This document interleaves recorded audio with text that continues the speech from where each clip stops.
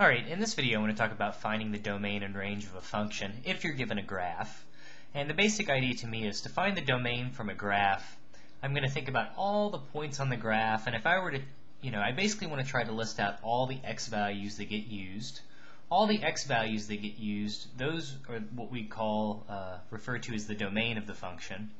To get the range, we simply list uh, all the y values that ever get used on our graph.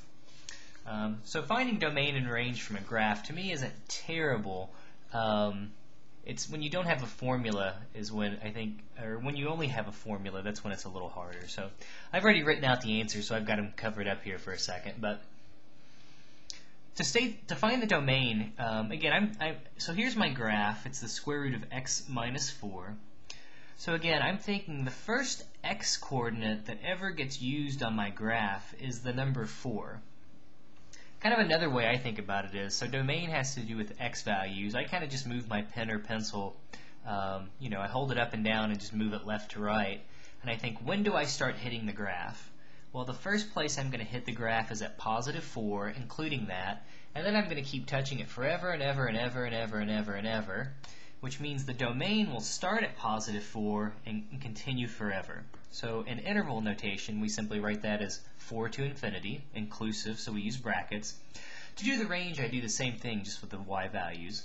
So if I were to move my pen, I'm still up and down this time. I'm not touching, not touching, not touching. The smallest y value that I ever hit would be at 0. And then I'm always touching, always touching, always touching, always touching. So again, you have to think about too what's going on. As x gets arbitrarily large, y will get big too. So this graph actually keeps increasing forever and ever and ever as you move uh, um, up and to the right. So the smallest value is 0, and then it goes on forever and ever, so we would say the range is simply 0 to infinity. Um, okay, so let's, uh, let's do the same thing here on a couple more. So this time we've kind of got a half a parabola. Um, but again, to, so to find the domain, I just move my pen left to right, not touching, not touching, not touching, not touching. At the y-axis, or correspondingly x equals 0, I'm still not touching. There's no point there. That's what the open circle indicates.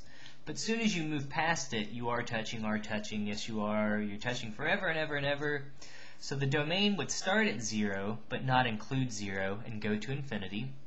The same thing with the range, I think. When do I touch the graph? Well, even at negative 5, I'm not touching the graph. But it's as soon as you go above negative 5, you are touching forever and ever and ever. So that means all of those y values get used. So our range would be at negative 5, but just missing it. Um, we have to skip over it and not include it, but then go to positive infinity. Okay, so one more here. Um, notice here our graph's kind of broken up. So we would say this is an example of a function that's not continuous, but that's okay. It doesn't have to be continuous. We can still talk about the domain and range. Okay, so again, the arrow to the left just means it keeps going forever and ever and ever. So no matter where I put my pen way out on the left, you know, I would always be touching the graph. So as I move left to right, in my head, I'm touching, I'm still touching, I'm still touching, I'm still touching. Again, you know, we can't write it infinitely long. You have to imagine a little bit. But I would be touching it forever and ever and ever and ever and ever and ever up until the x-coordinate of negative 6, but not including it. So we start way at the left at negative infinity, up to negative 6, not including it, so I'm going to make a little set of parentheses, and then I'm not touching the graph anywhere in between. There's no graph, no graph, no graph, no graph, no graph. The next x-coordinate where I touch the graph would be the x-coordinate of 8, including 8. So I'm going to put little brackets because we include 8. And then as I move to the right, I'm touching it forever and ever and ever and ever and ever and ever. Again, assuming it keeps moving to the right and down. So our domain would be uh, negative infinity to negative 6, not including negative 6. Or also we could uh, include um, 8 to infinity. Okay, so both of these, any, any x-coordinate in these intervals will, will be an x-coordinate on our graph. Last but not least, the range. Again, this arrow to me indicates it goes down forever and ever and ever. So no matter where you start down here at negative infinity, you'd be touching the graph. We'd be touching the graph somewhere.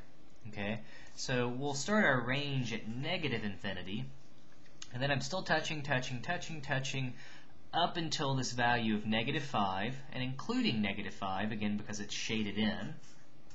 And then there's a little gap where, you know, I'm not touching the graph at all in between there. So I have to skip over those y values. Once I hit the x-axis, again, I'm not quite touching the graph because there's an open circle. So that's at 0, we'll put parentheses. But then, as I keep moving up, I'll always be touching the graph over here on the left side. So the y values will extend off to positive infinity, and now we have our domain and our range.